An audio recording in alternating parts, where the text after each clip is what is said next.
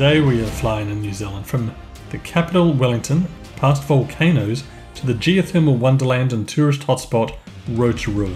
This is the fourth flight as World Tour by Flight Sim flies you around the world in your own private jet. Welcome back team, let's do it.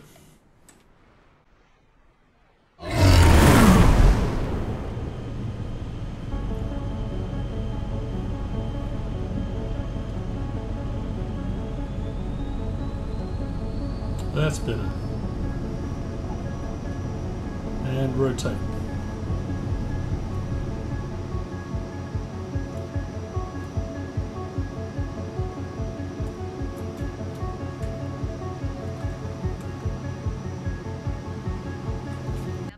Let's go over to the centre of Wellington and have a look at the uh, have a look at the beehive.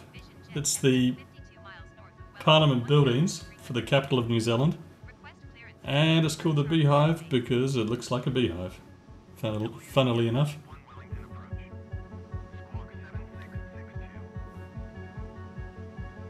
That's the centre of Wellington in front of us.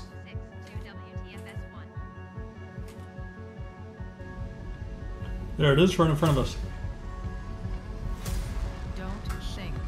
Yeah, it's a bit close to our nation's nation's capital.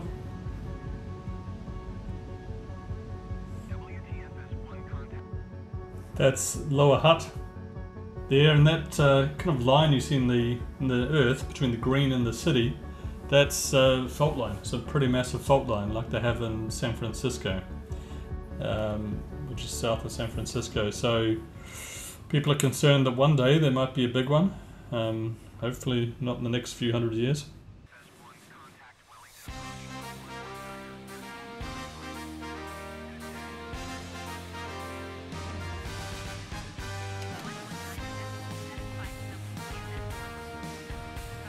Going to gear up a bit late.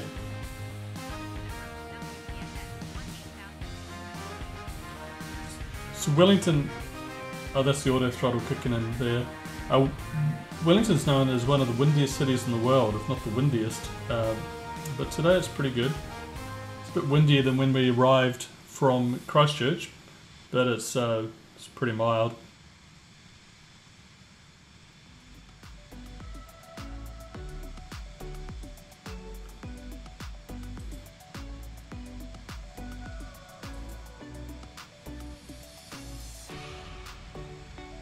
There's Kapiti Island over in the distance.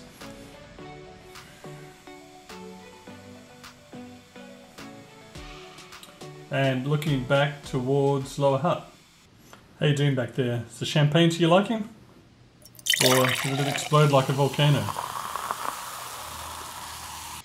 That's Paraparaumu below us. Has a very good golf course actually, one of the top golf courses in New Zealand.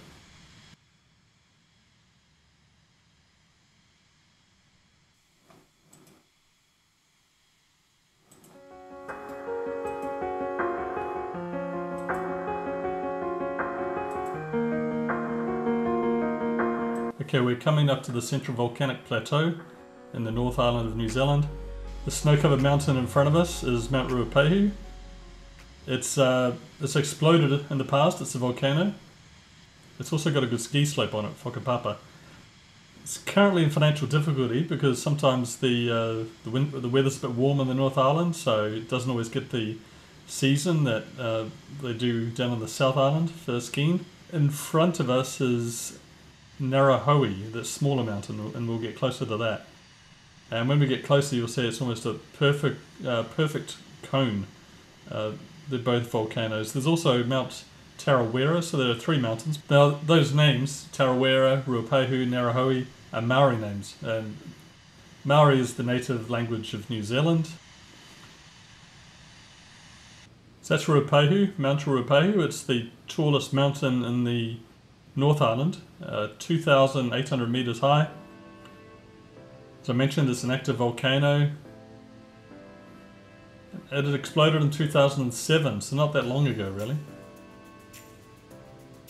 This whole area around the mountains is called the Tongariro National Park. It's a UNESCO World Heritage location. Now it's looking pretty dry there, but let's have a look at what it looks like in the winter. And there you go, that's roughly what it looks like in the winter. Uh, when there's been a, been a big uh, snow dump. Yeah, it's not always doesn't always have this much snow. That's why it's uh, it's having some financial difficulties. The ski slopes are, but um, but it can look like that.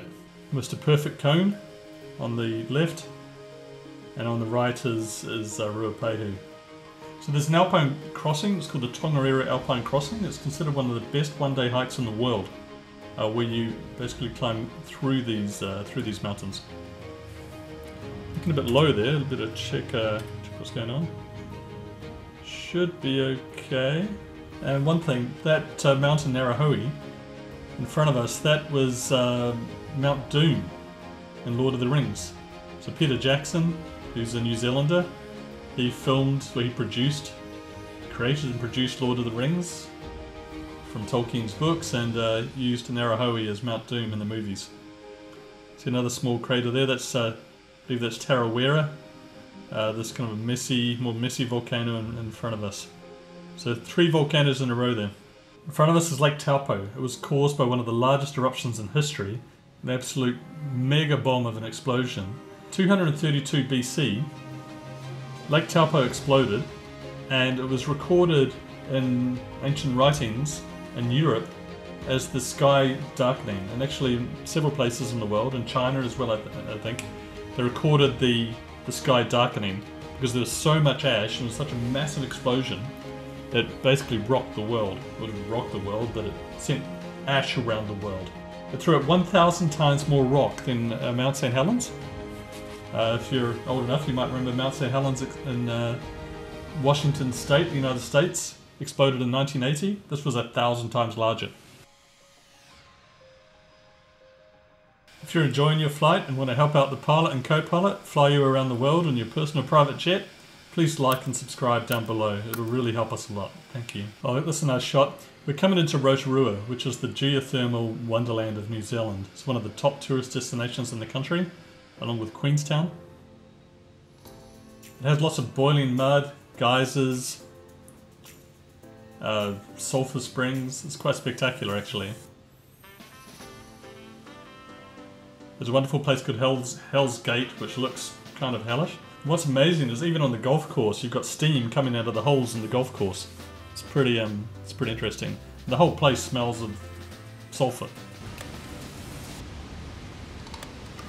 Flaps.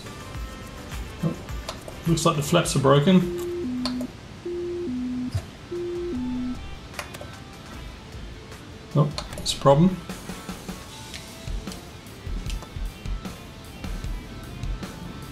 Five hundred. Coming in a bit rough, but it's pretty hard without the flaps. So they're just not taking. So it's going to be a hard landing, guys. Hold on. The flaps really slow us down, but they're just not actually turning on. Must be a mechanical error. Oh, it is a mechanical error. Let's see if we can still get down anyway. Oh, I told you it'd be rough. Stop. Stall. Stall. Stall. Now that, ladies and gentlemen, is a crash landing. Um, the flaps came on, but they came on really late. We made it. Made it without the flaps. Now our next flight will be to the largest city in New Zealand, Auckland, past the beautiful beaches of the Coromandel Peninsula. That video is going to be in the top right when it's ready. And at the top left is our last trip.